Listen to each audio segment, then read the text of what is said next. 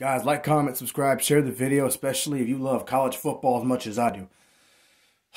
Now that I've made the Michigan football team and players video, I got that out of the way. I'm going to turn my attention to talk about, as a Michigan fan, how I feel about Jim Harbaugh. Jim Harbaugh, I have lost so much respect for you.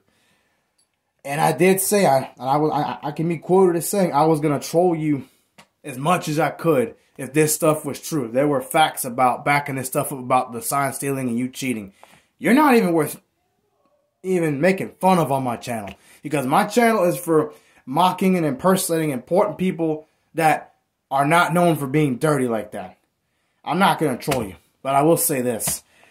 With what you've done is pretty dirty. I really did believe. I said, well, Jim Harbaugh's pay has been cut. He was supposed to get fired. I thought that would be enough motivation for him to do what he's doing right now. No, no, no, no. He's decided to cheat.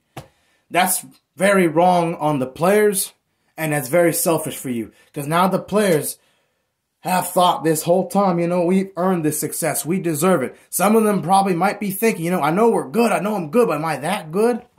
You know? And I don't know how they feel about it now.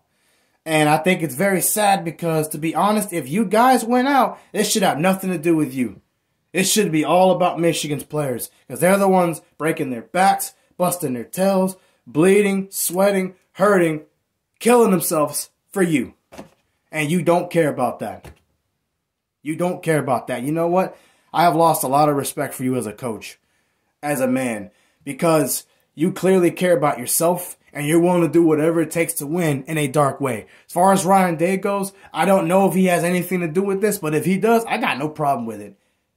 Even if he's an Ohio State coach, because he's never had any kind of drama, any negative energy, nothing bad said about him since he's been at Ohio State. I will continue to pull for Michigan with or without you.